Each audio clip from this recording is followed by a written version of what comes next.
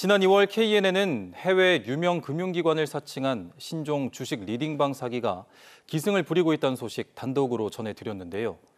최근 피해자 가운데 한 명인 50대 가장이 숨졌습니다. 주식 리딩방 사기는 피해자가 피해 금액을 일부라도 회수하는 게 사실상 불가능해 제도 개선이 시급하다는 지적입니다. 최혁규 기자의 보도입니다. 50대 가장 A씨가 숨진 건 지난 7일. 지난해 말 해외 유명 금융기관을 사칭한 신종 주식 리딩방 사기로 전 재산을 잃고 난 뒤였습니다. A씨는 본인과 지인 돈을 합쳐 2억 원 가량을 투자했습니다. 그런 일이 있고 나서 맨날 집에서만 있었어요. 집에서 술만 먹고 엄마 밥 차려놔도 잘 안 먹고 그냥 가만히 좀 자기 놔둬 달라. 자기는 너무 지금 너무 힘들다. A씨는 숨지기 직전까지 피해 금액의 일부라도 돌려받기 위해 사기를 벌인 일당들에게 읍소했습니다. 그 사기꾼인 거 알면서도 채팅을 계속했어요 사기꾼한테 어떻게든 돈을 받으려고 그 막 내가 친구한테 투자해라 했는데 네가 출금하는 거를 해줘야 친구가 믿고 투자를 해준대 하지만 일당은 오히려 출금 수수료를 요구했습니다. A씨는 사기 일당을 경찰에 고소하고 피해 구제를 기대했지만 복잡한 절차에 피해 금액 대부분을 돌려받지 못했습니다. 경찰이 계좌 영장을 발부받아 사기 일당의 자금을 추적했지만 계좌 하나의 영장을 받는 데만 일주일이 걸렸습니다. 결국 네 차례 영장을 집행했지만 이미 돈은 다른 곳으로 빠져나간 뒤였습니다. 신속하게 영장을 발부받아 계좌에 돈을 묶어놔야 하는데 오히려 돈이 빠져나갈 시간을 벌어준 겁니다. 보이스피싱은 영장 없이도 곧바로 계좌 지급이 정지되는데 반해 리딩 사기는 그렇지 못해 대처가 늦어지는 경우가 많다고 경찰은 설명했습니다. 신종 금융 사기 수법이 점차 고도화, 지능화되는 현실에 반해 계좌 지급 정지와 피해자 구제에 관한 법률을 적용 범위가 과도하게 제한되어 법이 제 기능을 하지 못하고 있는 현실입니다. 관련법 개정이 2년째 지지부진한 사이 피해자들의 고통은 커져만 갑니다. KNN 최혁규입니다. 도서관과 식당은 물론 매점조차 없는 대학이 부산에 있습니다. 최근 KNN이 연속 보도한 전공을 무시한 채 교수들을 무더기로 다른 학과로 발령낸 바로 그 대학인데요.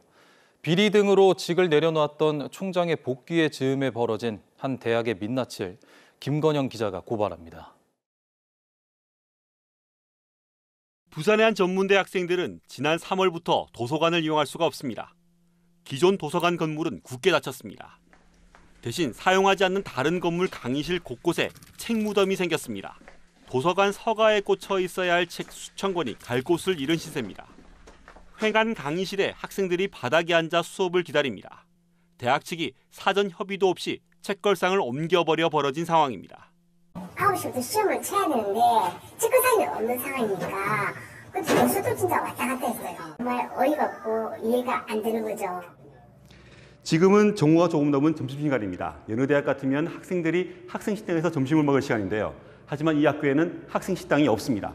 원래 식당이 있던 곳은 이렇게 조리 실습실과 옆으로 보시면 연회장 형태로 모두 바뀌어 버렸습니다. 식당이 없다 보니 정부 지원 사업인 천원의 아침밥도 고작 삼각김밥 등이 제공될 뿐입니다. 매점도 없습니다. 학교 안에서 유일하게 음식이나 물건을 살 수 있었던 편의점도 최근 없어졌습니다. 도서관도 없고 매점도 없고 식당도 없고 여기 와가지고 오후에 공부를 하고 싶어도 대부분 학생들 뭐 남아서 뭘 하려는 의지가 없습니다. 학사행정 불편 민원도 급증하고 있습니다. 내객과 학생 200여 명이 다니는 건물에 직원은 고사하고 계약직 조교 한 명도 없습니다. 저희는 조교 선생님이 없어서 공지사항 같은 데 오는 거나 그런 것도 못 보고 여러 가지로 많이 불편해하고 있습니다. 해당 대학이 전임 교수는 물론 행정 직원까지 절반 수준으로 줄인 탓입니다. 특히 새 총장 취임 전후로 휴직자와 퇴사자가 속출한 것으로 전해집니다. 학교 설립자 2세이자 이사장 출신의 현 총장은 5년 전 교육부 감사 결과 각종 비리 혐의로 파면당했다. 최근 3월 다시 복귀했습니다. 15일에 취임을 하셨는데 그 이후에 나가신 분들이 엄청 많아요. 저 말고도 노동부에 민원 넣으신 분도 계시고 이에 대해 대학 측은 3천 명에 달하던 재학생 수가 1,700명으로 줄이면서 학교 경영 효율화를 위한 조치라 해명했습니다. 또 도서관은 재개관을 검토하고 있고 코로나 때 문을 닫은 학생 식당은 식수 인원 부족으로 운영업체가 나서지 않아 운영을 접은 것이라 설명했습니다. 한편 2018년 기준 해당 대학 재단이 소유한 부동산은 공시지가로 1,200억 원대. 하지만 대학의 재단 전입금은 지난 21년도 1억 2,500만 원, 22년도엔 3,500만 원이었습니다. KNN 김건영입니다. 태국 파타야 살인 사건을 수사 중인 태국 경찰이 이번 사건이 돈을 노린 계획 범죄로 보인다고 밝혔습니다. 태국 현지 매체에 따르면 피의자들은 계좌 송금을 목적으로 피해자를 폭행하다 숨지게 한 것으로 전해집니다. 최한솔 기자가 취재했습니다.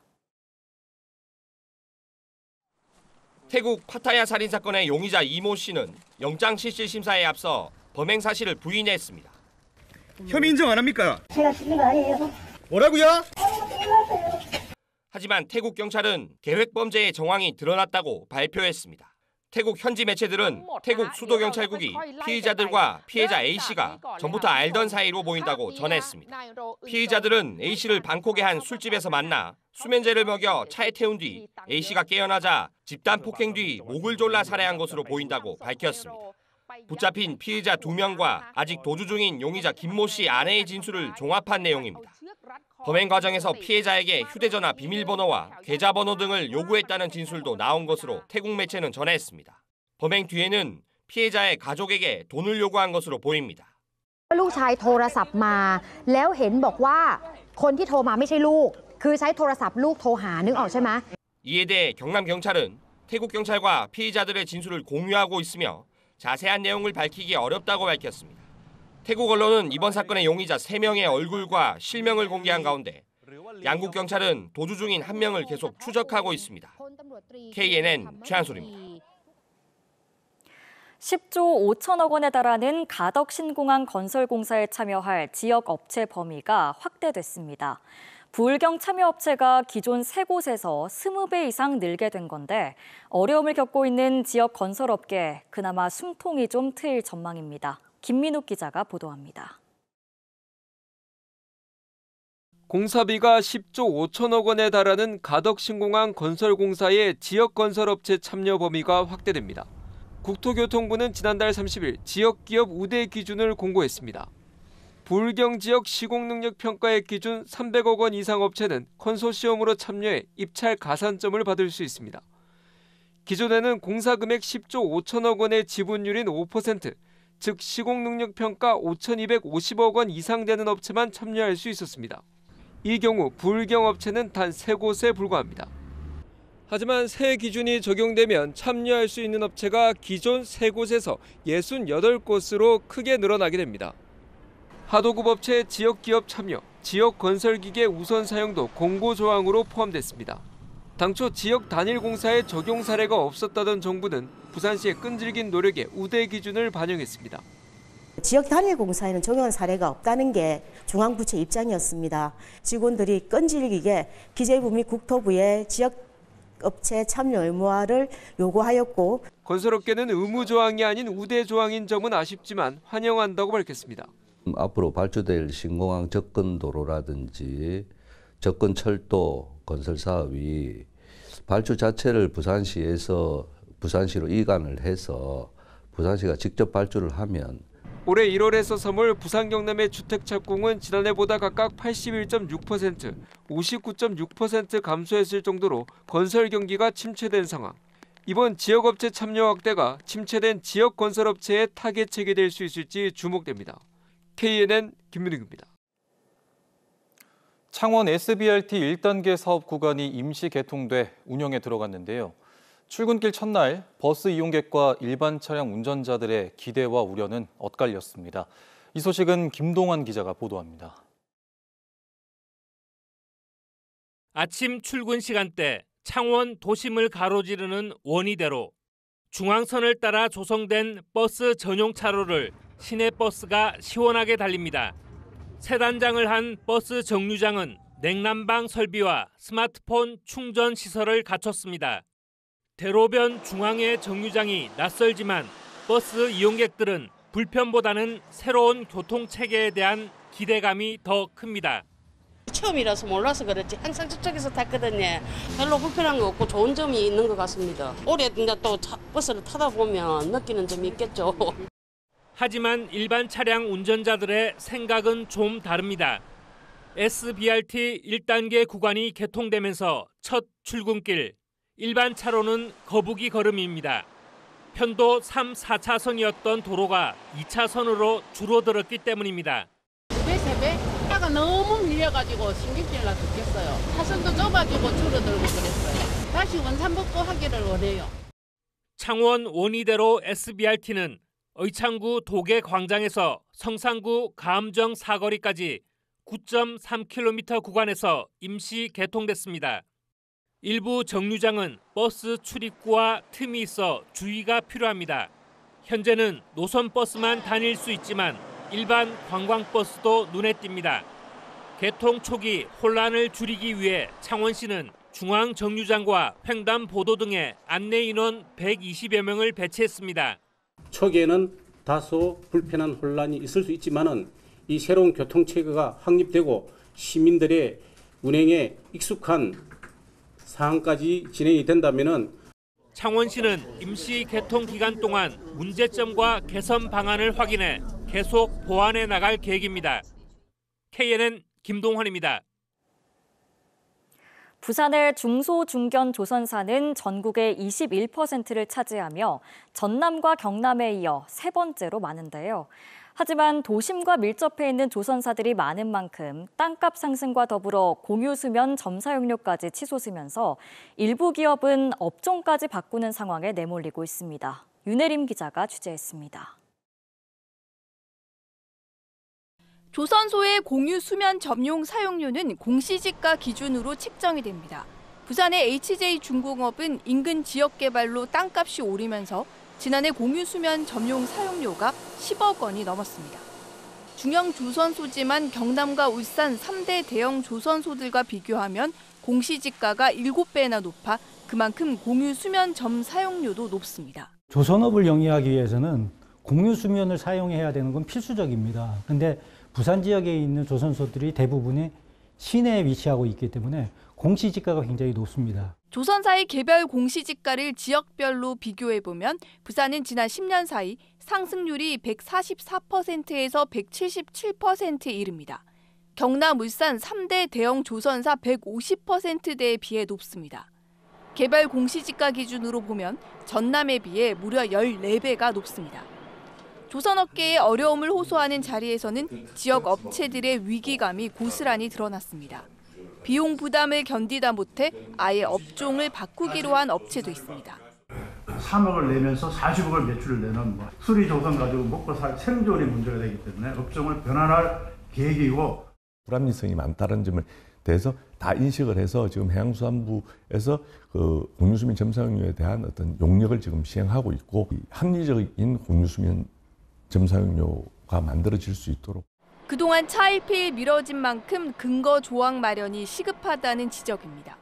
공유수면 점 사용 관리법에 예, 감면 조항들이 있습니다. 아, 그 감면 조항에 지역의 어, 중소, 중견 조선소만이라도 어, 일정 부분 감면할 수 있는 어, 근거 조항을 마련하자는 게 이번 요구 사항입니다. 또 조선업 상생 발전을 위해 16개 기관이 모여 민간 협의회를 출범하는 등 부산 지역 조선업 경쟁력 확보에 힘을 모으기로 했습니다. KNN 윤혜림입니다. 부산 연제경찰서는 부산지방법원 앞에서 유튜버를 흉기로 찔러 살해한 또 다른 유튜버 50대 A씨에 대해 보복살인 혐의를 적용해 검찰에 구속 송치했습니다. 경찰은 A씨가 피해자 B씨와 법적 다툼을 벌이고 있었으며 B씨가 A씨를 엄벌해달라는 글을 판사에게 제출하려고 하자 이를 막으려 범죄를 저질렀다고 봤습니다. A씨는 지난 9일 범행 이후 차량으로 경북 경주로 도주했다가 1시간 40여 분 만에 경찰에 붙잡혔습니다. 하동 화력발전소 1, 2호기의 폐쇄가 확정된 가운데 공공운수노조 발전 HPS 지부가 오늘 한국남부발전 앞에서 기자회견을 열고 발전소를 정비하는 비정규직 노동자의 고용 보장을 촉구했습니다. 이들은 2036년까지 28기의 석탄 화력 발전소가 폐쇄돼 15,000명 정도가 고용 불안에 내몰리는데도 원청인 한국남부발전과 정부가 이를 방관하고 있다며 이번 달 말 파업을 예고했습니다. 중소기업중앙회가 진주시 진주 K기업가정신재단과 K기업가정신 확산을 위한 업무 협약을 맺었습니다. 중소기업중앙회와 진주시는 진주 K기업가정신 청년포럼과 국제포럼 등을 개최할 계획입니다. 대기업 창업주들을 배출한 진주 옛 지수초는 K기업가정신 교육센터로 운영 중이며 지난해 기업인 2천여 명을 교육했습니다. 최근 구인난을 겪고 있는 부산 버스 업계를 위한 대규모 채용 설명회가 오늘 열렸습니다. 부산시와 버스 운송 사업조합, 마을버스 운송 사업조합이 공동으로 기획한 이번 행사에는 구인난을 겪고 있는 시내버스와 마을버스 업체 90여 개가 참가해 구인 구직자 만남의 장을 마련해 채용 상담 등을 진행했습니다.